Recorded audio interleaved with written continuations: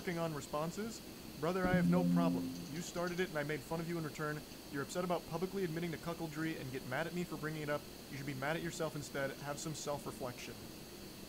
Which it's true. I don't have a problem.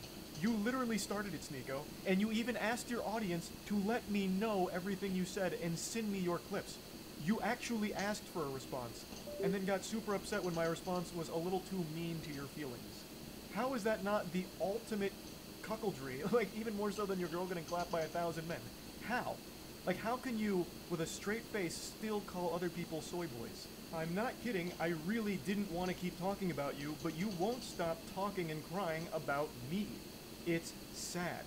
I understand you have a humiliation fetish, so hopefully this whole thing has helped you orgasm one more time from all of it.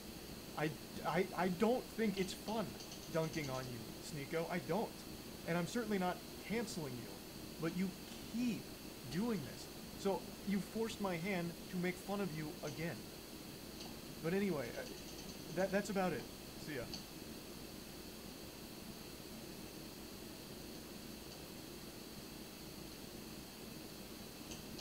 The allegations are not true. Okay. We can definitely check this out. I am very interested to see this based on that title, considering he himself confirmed the allegations in a live stream. The only thing he denied is knowingly trying to get a minor's nudes. He said that he was actually just joking about getting a minor's nudes in order to make other people uncomfortable, which is still fucked up. In fact, in his words, he said that while it's technically sexual harassment, he doesn't like that word for it because it was a joke. So, I find it very odd that he'd choose this title. Because he himself confirmed pretty much all of it during that stream. Hey, how old are you? I'm fucking 28. How old are you? 28? Wow, I'm 22. Thank you, some carbon. Oh, Jesus Christ. You're fucking old, bitch. I- I'm not old. I was looking for like a 14 year old. Fuck, Granny. Oh my god. Not joking. You have a little sister. Hello everyone, it's your host of the program. This video has been a long time coming, doing and there are many reasons this video did take me a long time, The which I will teacher. be getting into later in the video, and you guys will definitely understand why. I will say this just very bluntly, very short. I've made many mistakes in my life. You know, I've hurt people in the past, including close friends, and I'm currently seeking therapy to work on myself and to be a better person, more understanding of others. And that being said, yes, I was an asshole to my friends, but the bottom line and the most important thing here is I am not a pedophile. The pedophile thing was never really Clyde's huge concern. Clyde defended me in the past about this, and so did many other YouTubers.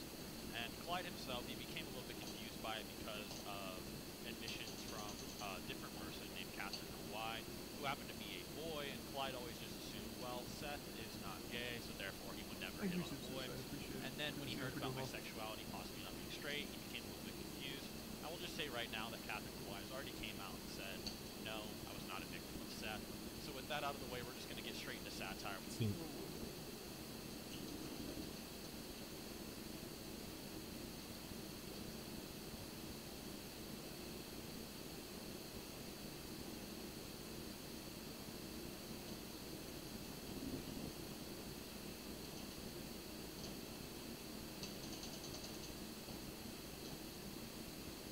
Okay. I'm gonna tell you right now, just this, during the call, I asked for his age. Prior, I told him I was 16, although I was actually 15, doesn't matter. And he replied he was 14. This was a common thing he said, but whatever. That is so fucking weird. He's, he wasn't 14. Seth the programmer, I can't remember how old he is right now, but he's mid 20s. He wasn't 14 during any of this, which is super weird to say.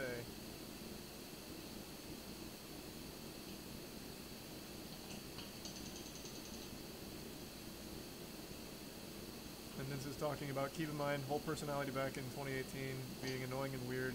He responded with the whole naked or clothed thing and to keep character I played along and said naked.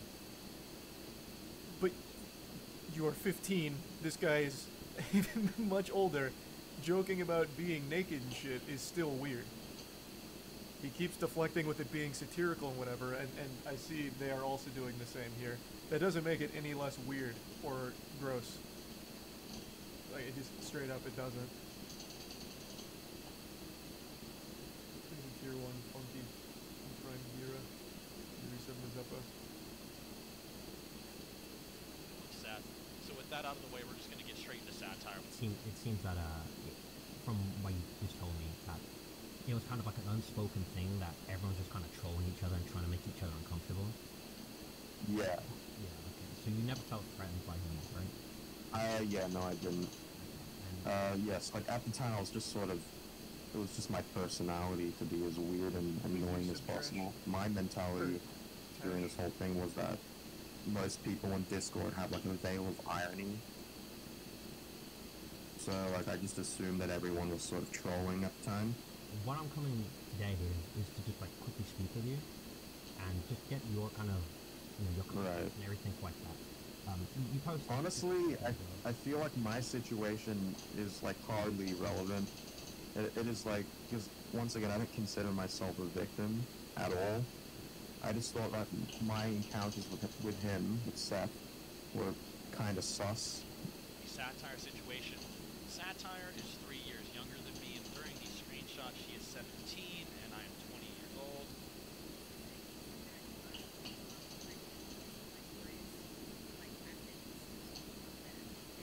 Exusa Silness.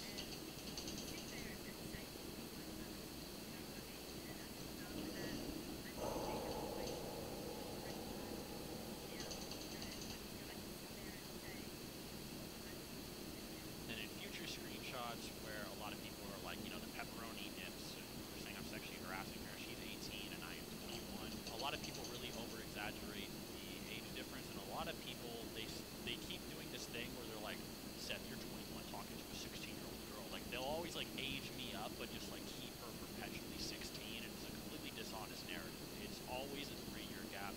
She was born in 2000.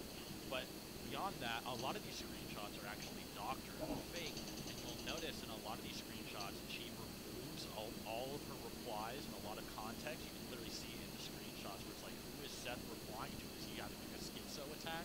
Who is he talking to in these screenshots? It's because she removed all the context, which originally the context was is that at least for the original one was that me and her were getting I can't read this at all. private calls with like admins and stuff like that, which she admits on Clyde's stream, and we'd do it to sort of poke fun at her and know the rest of her actually had a crush on her, so me and her would make screenshot bait and then send it to him. So there was no actual intent